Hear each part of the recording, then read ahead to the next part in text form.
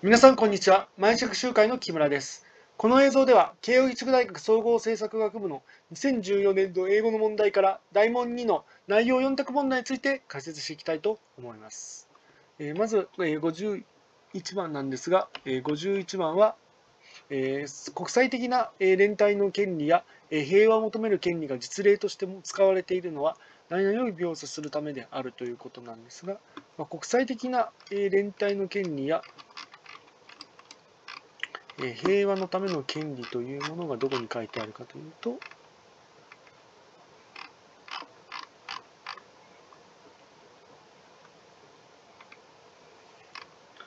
まあ、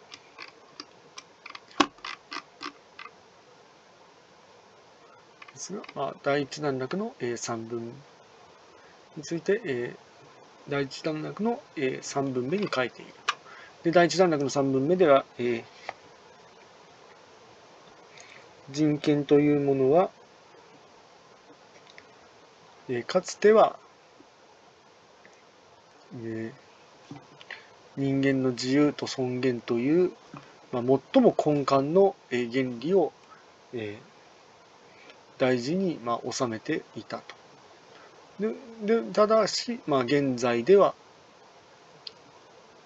えそれら人権というものは、まあ、国際的な連帯の権利から、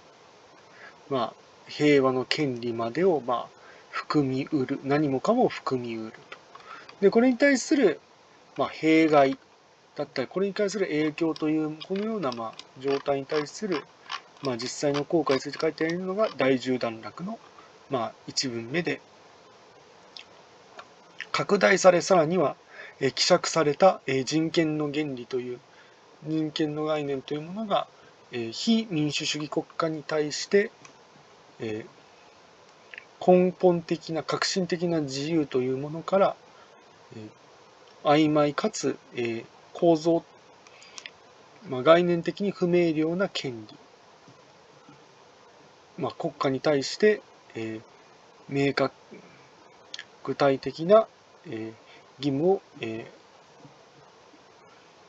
犯せない、まあ、権利といったものに、まあ、反らさせることを許してしまうと。まあ、要するに、まあ、人権の、まあ、概念が広まっていってさらに薄まっていくと非民主主義国家の人たちが非民主主義国家にとって、まあ、革新的な自由権利というものは革新的な自由の尊重ではなくて、まあ、曖昧かつえー、こう概念的に不明瞭な権,、まあ、権利しかもまあ国が義務を負わなくてもいいそういった不明瞭で曖昧な権利といったものをものにまあ変えさせてしまうこと変えることを許させてしまうというのがあってでまあ第5段落の最後のあ第10段落の最後の文章でも、うん、まあ権権利主義的な国家が、まあ、お互い称賛し合うことにお互い称賛して、まあ、新しく、えー、曖昧でかつ抽象的な権利というものを、まあ、支援するということは、えーまあ、空虚な、え、言葉のあやではなくだあやに過ぎるだけではなくて実際の、まあ、政治的利益を、まあ、生み出してしまうということを踏まえると、えー、まず、えー、2番。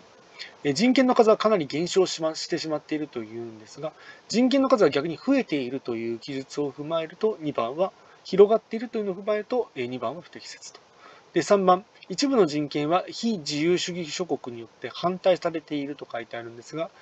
一部の人権はまあ逆に非自由主義諸国にとってまあ拡大して支援されているので3番も不適切と。で、4番なんですが、重要な権利がえー、近年基本的な人権に加えられていったということなんですけど基本的な人権とは別に、えー、重要な権利が人権として、まあ、拡大解釈して、まあ、組み込まれていったと。人権の範囲が、まあ、薄まって拡大解釈するにあたってさまざ、まな新しい権利が、まあ、基本的人権を、まあ、追いやるような形で広まっていったという記述と考えるとまあ、重要な権利が加えられていったというのが不適切なので4番は除外ということで、51番は1番。一部の人権はうまく定義されておらず、解釈論的な逸脱を許すというのが正当となります。でもって、52番に行きたいんですが、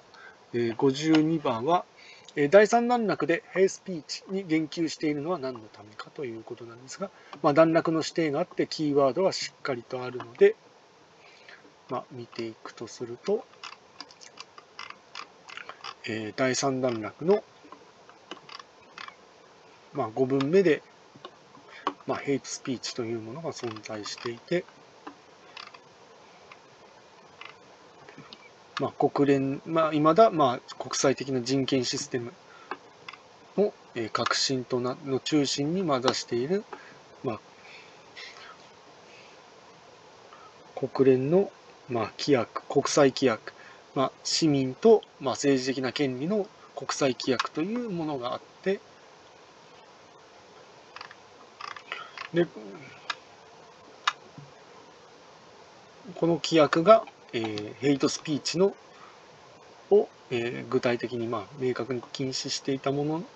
まあ、一定の、まあ、ヘイトスピーチは禁止にしていたものの、まあ、明確なガイドラインを持っていなくて、えー、さらには、え、表現の自由との対立に対してどう解決を取るかっていうことに関しては明瞭でなかった。さらには、え、このようなえ法律、さらには道徳の混乱というものの結果として、え人権というものが、え言論の自由の保護よりか言論自由の制限をのために行使されることが最近、まあ、現在では起きているというふうに書かれているのですが、これを踏まえると、え1番、人権は言論の自由を守るために機能していると書いてあるんですが、逆に人権を抑えるために人権を制限するために機能していると書いてある箇所から違うので、1番を除外と。で3番なんですが、え、人権の解釈は、え、規範が違えば、えー、様々であるのは当然だと書いてあるのですが、え、規範が違うのではなくて、え、規範に対する解釈で、え、人権の解釈が変わっていく。まあ、新たなまあ解釈が出てきたから、様々解釈が分かれているということなので、3番は不適切と。で、4番なんですが、ヘイトスピーチは象徴的な原理として、権利として、えー、1948年の世界人権宣言に帰属していると書いてるんですが、えー、ヘイトスピーチに対する象を、えー、象徴的な権利として、えー、世界的、1948年の世界人権宣言に帰属するとは書いていないので、これも4番も不適切。ということで、えー、52番は2番、えー。ヘイトスピーチは道徳的に誤っているかもしれないが、法的にそれを禁ずることは、えー、表現表現の自由の制限をすることになるというのが正当となります。でもって、えー、53番に、えー、行きたいんですが、えー、53番は、えー、本文によれば次のうち、えー、人権の急増を起こした原因は要因は何であるかと書いてあるんですが人権の急増を起こした要因に対して書いてあるのは第4段落の、えー、2分目で、えー人権の急増人権の急増はまあ何をもって説明するできるであろうと説明するであろうということなんですが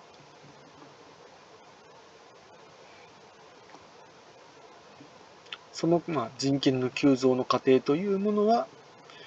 まあ一部では人権問題としては自らの主張を、まあ、認識してもらおうとする、えー、認識してもらうための、まあ、切り札を、えー、探している、まあ、特別な利益を持った団体、圧力団体が、まあ、よく行う、まあ、前儀のロビー行為によるものであると。要するに、まあ、何かしらのまあ利益を、利権問題を持っていて、その自分たちの利権を人権問題として扱ってほしいという切り札をまあ探している人たちによってまあロビー活動が行われて、結果として人権がどんどん増え、人権の数がまあ増えているというようなニュアンスなんですが、記述なんですが、これを踏まえると、まず53番、2番、一部の国家が宗教的な像へとつながる宗教に関わる、えー、部別発的な発言を行ったと書いてあるのですが、これに対しては、えー、まあ、まあ、第三段落のまあ7分目で、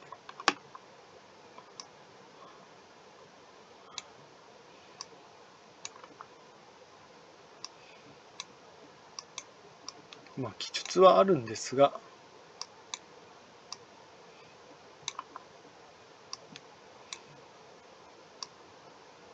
第三段落で、まあ、エジプトやパキスタンで、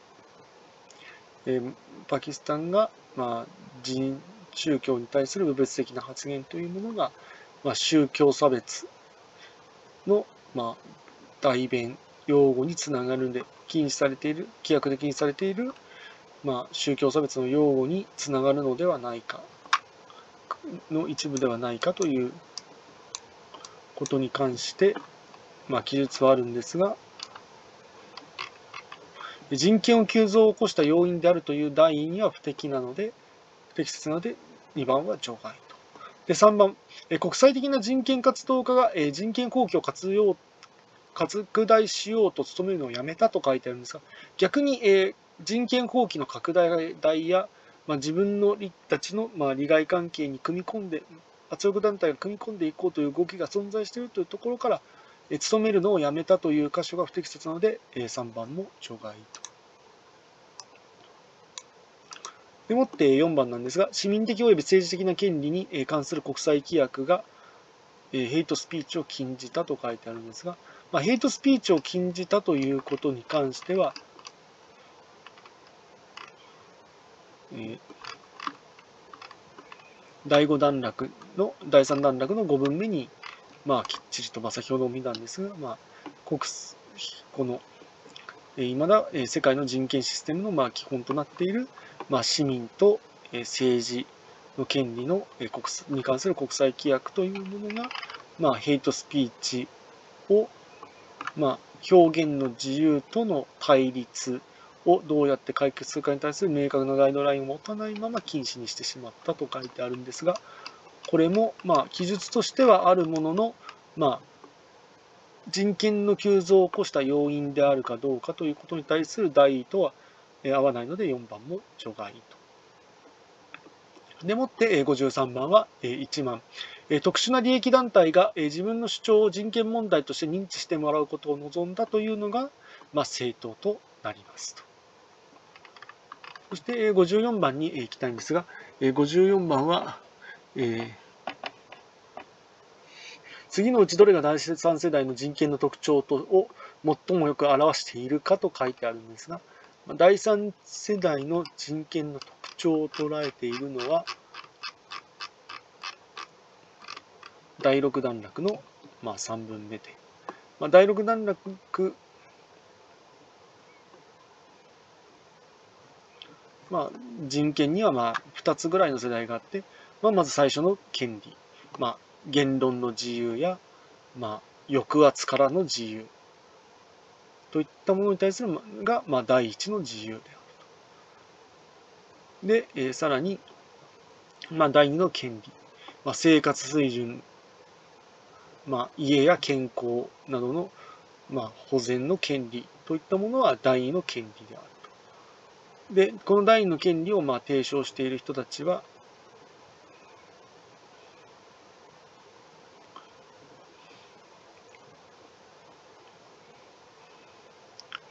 で、えー、第三の権利というものに対して、まあ、よく懐疑的に思っていると。で、第三の、えー、第三の権利と、第三世代の権利というものが何かというと、えー、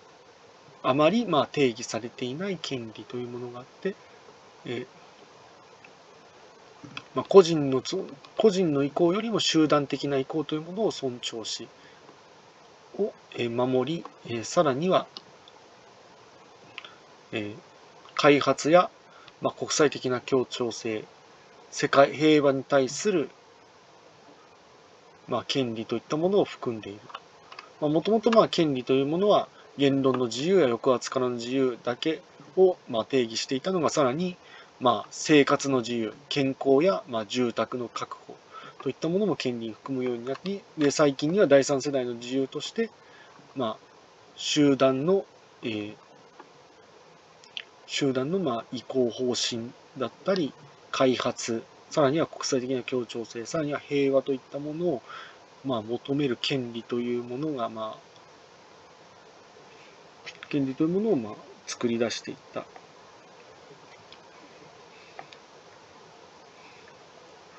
権利というものをまあ含んでいったと。で、これらはまあよく定義されていないものであるということなのですが、これを踏まえると、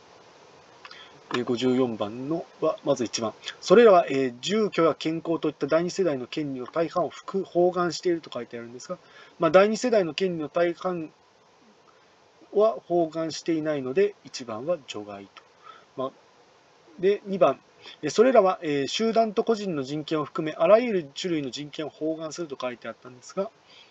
えー、個人よりも集団の権利を、えー、尊重するのが第三世代の人権だと書いていたので、え、2番も除外と。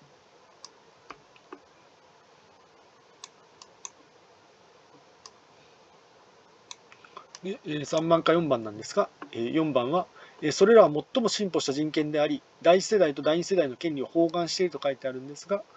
え最も進歩した人権ではなくて、まあ、解釈が進んでいない人権、まあ、解釈が曖昧で、え定義づけがうまくいっていない人権である。権利であるというところから最も進歩したというのは不適切であるし、第1世代、第2世代の権利を包含しているとも言えないので、4番も除外と。ということで、54番は3番。それらは、え発展や平和を求める権利といった、えかなり曖昧な権利を包含しているというのが正当となりますと。でもって、え55番に行きたいんですが、え55番は、え内々段落で述べられているように、え自由のない国々が第三世代の人権を、え支持しているのはという問題なんですが、これはまあ理由説明の問題であって、え理由説明の問題であり、まあ、段落の指定がある問題なので、えどこを見ればいいかというと、第7段落の、え3分目で、まあ、自由でない国々、まあ、だったり、まあ、部分的に自由な国、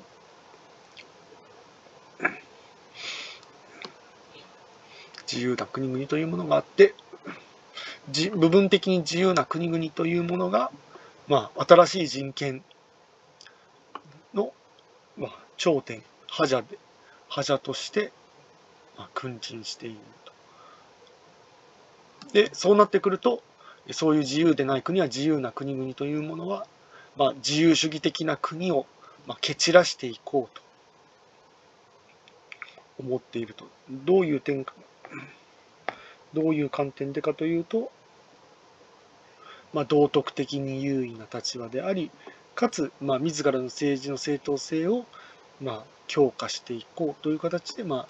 自由主義国家を蹴散らしていっていくと。まあ、用語、まあ、人大新しい人権、まあ、先ほどの第6段落であった、えー、曖昧に定義されまあ、定義が明確でない第三世代の人権の擁護者。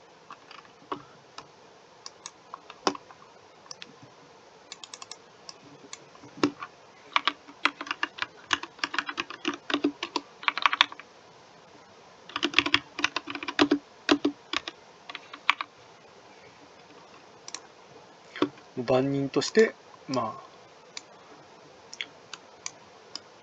まあ、自由または自由でない国部分的に自由または自由でない国々が、まあ、振る舞う、ま、が、まあ、新しい人権を守る番人として、まあ、振る舞っていくと。それによって、えー、自由主義でない自由主義国家に対して、まあ、道徳的に高いという道徳性の高さや、まあ、自らの政治的な正当性の強化を持って蹴散らしていこうとしていると。いうことを踏まえると、え、55番は、えまず、え2番なんですが、えその、え権利が、え国際的な合意に基づいているからではなく、え国際的な義務は、え法の支配より優先されるからである。ということなんですが、えこれは、え国際的な義務はは、えー、本国の法の支配より優先されるからであるという箇所が、えー、不適切なので、えー、2番は除外と。で、3番、え、その権利は、え、自由のない国々が探し求めていたものだからではなく、え、自由な国々がより高い道徳的な規範を保持しているからであるということなんですが、え、より高い道徳的な規範を保持していると自負して、え、追い出そうと考えているのはむしろ自由のない国々がの方なので3番も除外と。で4番なんですが、え、自由のない国々が、え、新たな人権の擁護者になれるからではなくて、えー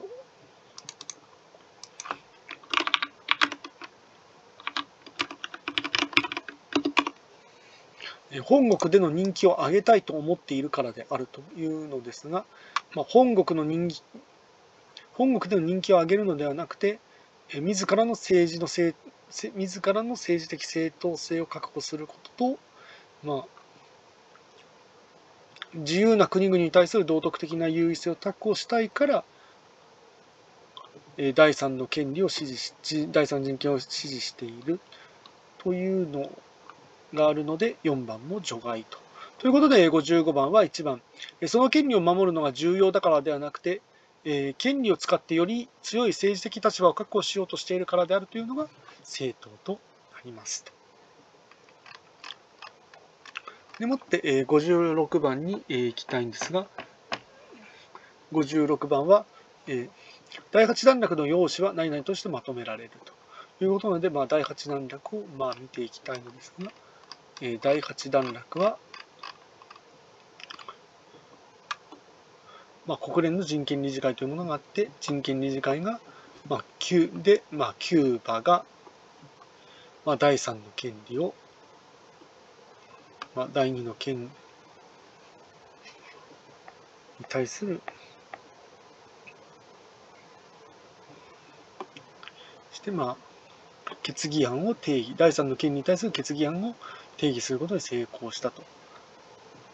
まあ、2つのまあ決議案を持って第3の権利を主張したと。で、1つ目は人権と国際協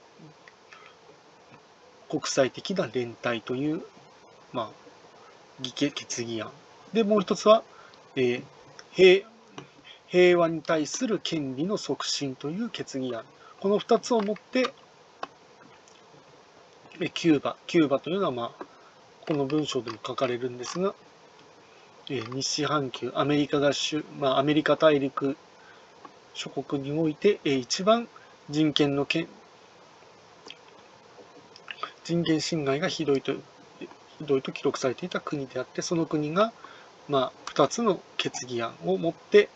え第3の権利に対する決議案を、まあ、提起するのに成功したと。で、まあ、人権と国際的連帯に対する決議案というものは、えー、ものがあって、それは、えー、32の、まあ、投票のうち、32の賛成があったと。で、15の反対があったと。まあ、国に対する、えー、開発援助が、まあ、権利であるということの決議案なんですが、まあ、援助を得ることは権利であるということを、まあ、キューバがまあ決議案として提起したと。それに対して、まあ、32の国が賛同したけれども、その32の国は、たった10の国が自由であって、それ以外の22の国は部分的に自由か自由でない国であったと。で、反対していた国はモルドバ、部分的に自由なモルドバを除いて、まあ、全て自由な国であったと。まあ、ヨーロッパとアメリカ、さらに日本、韓国ということなんですが、えこれを踏まえると、第8段落の趣旨というのは、まず1番、自由な国々は第3世代の人権を自好きなように使い、基本的人権を弱体化させているということなんですが、自由な国々ではなくてキューバという、まあ、自由でない国なのでがこのようにしているので自由な国々という箇所が不適切と。で2番、自由な国々と自由のない国々は、え独自の利害関係があるけれども、え普遍的な機関を使ってどのように、え権利を支持するすべきか決定していると書いてあるんですが、え自由な国々と、え自由ない国々が、ま独自の利害関係はあるけれども、ま普遍的な機関を使ってどのようにな権利を支持すべきかというふうに、ま書いていないので、え普遍的な機関を使ってではなくて、ま解釈のあやを使っているので、え普遍的な規範という箇所が不適切なので2番は除外と。で3番か4番なんですが4番、え市民的、え政治的自由といった普遍的な基本的人権をますます増えている、え第3世代の人権が改良してきたということなんですが、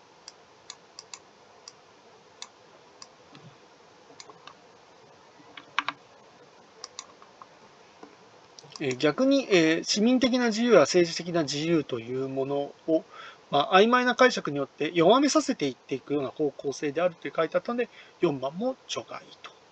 ということで、え、56番は3番。キューバのような自由のない国は第3世代の人権に対する決議案を通することが、通すことができるというのが正当となりますと。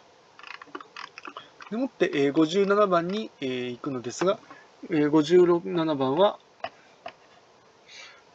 筆者はどのような意味で第10段落で使われているようなレリックという言葉を、え、用いているのか、えー、第10段落の、え、まあこれ第10段落の段落が、え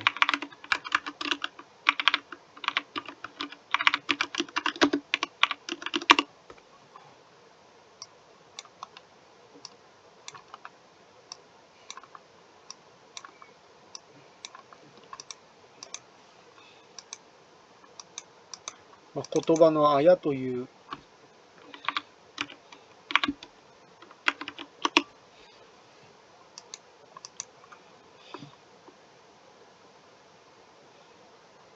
ことなんですが、まあ、どこに、まあ、レリックというものがあるかというと、第10段落の、まあ、2分目で、こういうえー、レリックというものが、えー、人権侵害を、まあ、精査することで精査できなくしていると。言葉の案がどういうものかというと、人権というものの概念、定義というものを拡大し、さらには薄めていくことに薄めていくものであって、その薄めていったことで、えー自由非自由主義国家が非自由主義国家が、えー、革新的な自由から、えー、革新的な自由からまあ曖昧かつ、まあ、革新的な自由というのは第一の権利、まあ、自由主義が尊重している権利から、まあ、曖昧でかつ構造的に不明瞭な権利、えー、国が、えー、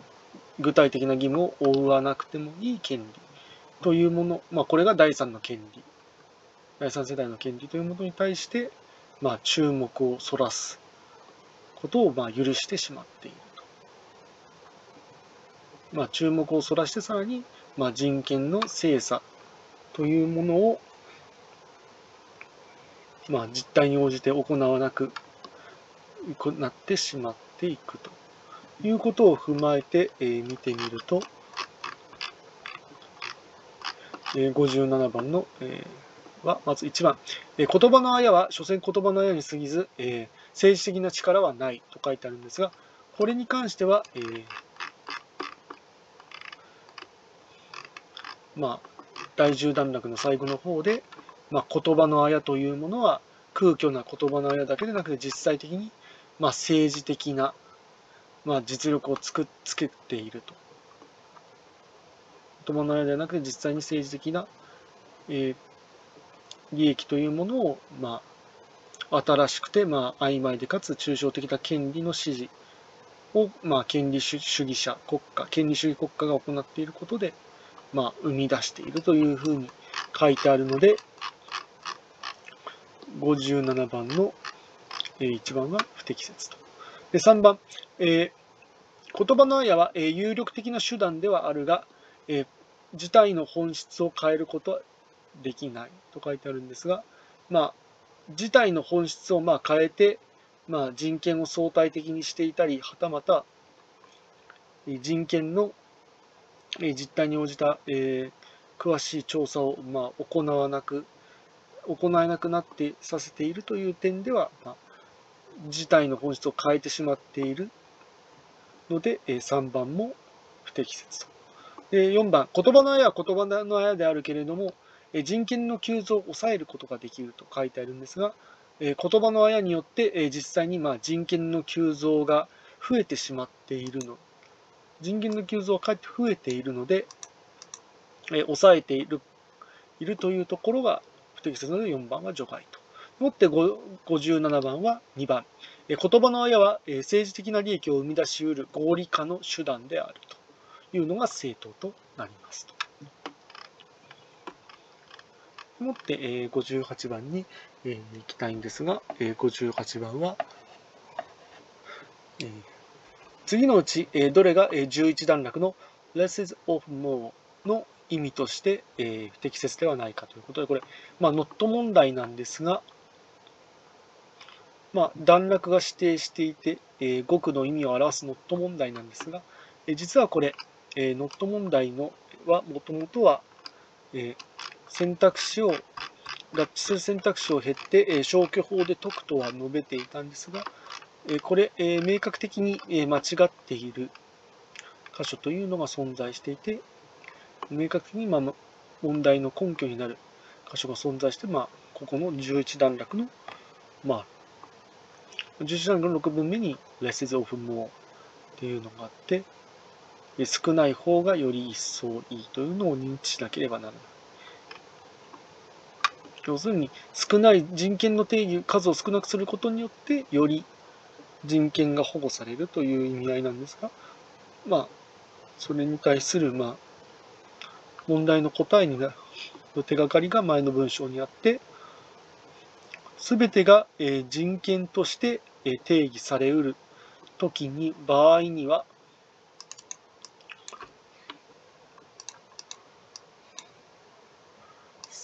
されうる場合には、人権に対する人権、そのような人権の侵害、すべての人権が、あらゆるものが人権となってしまえば、そのような人権を侵害したことに対する追徴金、賠償金というものは安い、安上がりになってしまうと。要するには人権侵害に対する重みがなくなってしまっていくということなのですが、まあ、これ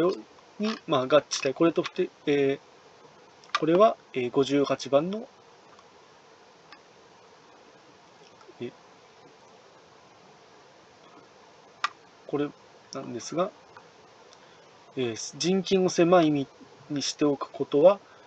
何々のようにするであろうということで、まあ、まず1番が不適切と。1番はまあ人権をより尊重するという点で不適切と。で、2番、え人権の放棄の、え思考が実行しやすくなる。これも、まあ、人権放棄の思考が実行しやすくなるというのも適切と。で、3番は、え自由のない国々にとって、え人権を使って、え自己主張、自分の主張を合理化することが難しくなる。これも、え3番も不適切と。でもって、えー、自由な国々がえ人権理事活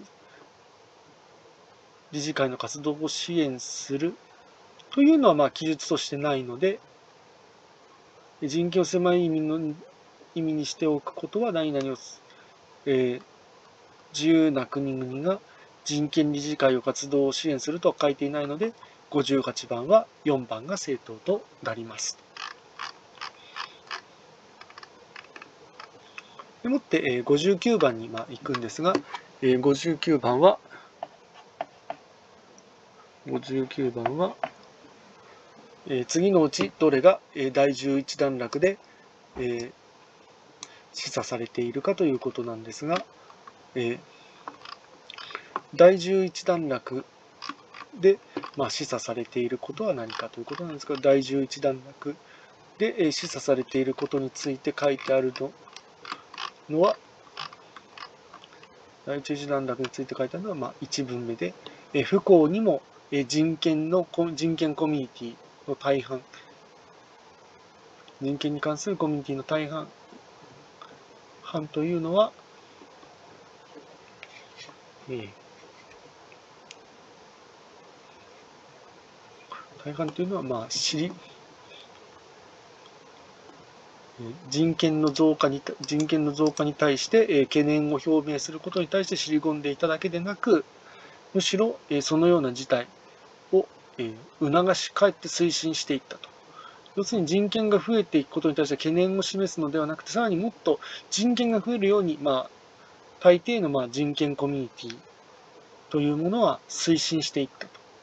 増えるようにまあ促していったというのがあって。で、まあ、しかしながら、そのような取り組みというのは、まあ、自由主義国家と非自由主義国家を隔てる、まあ、革新的な自由、言論や表現の自由を、まあ、発展する手助けはしなかったと。でもって、えー、その結果として、まあ、この連続7年 ,7 年も連続で、えー、国際的、まあ、基本的な、まあ、市民、さらには政治的な権利の権利に対する、まあ、国際的な尊重、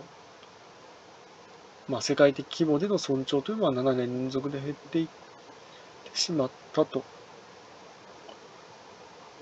いうのを踏まえると、え59番なんですが、まず、1番、自由な国々とは、国々は、人権の急増の手続きを推進してこなかった。ということなんですが、人権の急増の手続きを、まあ、推進してこなかったどころか、むしろかえって、まあ、手続きをまあ推進していって増やそうとしていったということから、1番は不適切と。で、2番、自由な国と自由のない国の間の線引きはより明確になってきた。というんですが、えー、まあ、それを明確にする自由という、まあ、革新的な自由という権利に関しては、まあ、まあ、関しては、まあ、なかなか前進せず、まあ、人権の数の拡大とは連携しなかったと書いてあるので、より明確になっていないので、2番も不適切と。で3番なんですが、え国際社会は、基本的人権を、過去以上に尊重していると書いているんですが、まあ、7年連続で下落しているという記述から見て、3番も除外と。ということで、59番は4番。懲罰を受けずに、人権侵害をすることは、えたやすくなりつつあるというのが正当となります。でもって最後に60番に行きたいんですが、60番は、次のうちどれが人権に関する筆者の立場を最もよく言い表しているかということなんですが、人権に対する筆者の立場を言い表しているのはどれかというと、この第11段落の最後の文章から12段落の最初の、最初と2分目の文章であって、まあ、最初の文章では、え人権の効力をより担より良くして、かつ、まあ、株を上げる、まあ、自分たちのその自由主義国家や人権委員会の株を上げるのであれば、えー、その人権を守る、要するに革新的な自由だったり、まあ、基本的な人権といったものを守ろうとする人々たちは、まあ、人権の定義が少ないければ、まあ、株が上がり、人権団体のまあ株や名誉が上がり、えー、人権の効果というものがよりよく担保されていくということを、まあ、認めなければならない、認める必要があると。でもって人権に対する尊敬というものが、世界規模の尊敬というものが、まあ、よりよより強くなっていくであろうと。可能性があると。え人権法というものがより、え狭狭く、さらに明確に、まあ、権利を権利の、まあ、集合というものを定義したときにはと。でもって、えー、そのような、えー、人権人権活動家や国際機関の努力や、まあ、努力や知識、知恵というものが、ものも、まあ、注目、注目を得ていたであろういうことなのですが、これを踏まえると、60番のまず1番。え、私たちは人権を変わりゆく事態の中でえ理解しなければならないと書いてるんですが、え人権をえ変わりゆく事態の中でまあ理解しなければならない。変わ変わりゆく事態の中でというのが適切な、まあ、変わりゆく事態で変わりゆく事態の中で、まあ、よりまあ根本的な人権をまあし明確にしなければならないという、えー、立場なので1番は不適切と。で3番、えー、私たちは自由な国のための人権を自由のない国のための人権から区別しなければならないということなのですが、え自由のための人権と、まあ、自由でない国の人権を区別するのではなくて、あくまでまあ人権の定義を狭めて、まあ、それを他の国々に、まあ、知らしめる、まあ、示していくという考えなので、まあ、区別ではないので3番も不適切と。で4番、え私たちは人権を施行する機関を創設しなければならないと書いてあるんですが、えこういうことは、ま、何か新しい機関を創設するということは書いていないので4番も不適切。ということで60番は2番、え人権を保護するためにその範囲を制限しなければならないというのが正当となりますと。ということで以上をもちまして大問2の内容4択問題について解説を終わらせていただきます。え皆さんありがとうございました。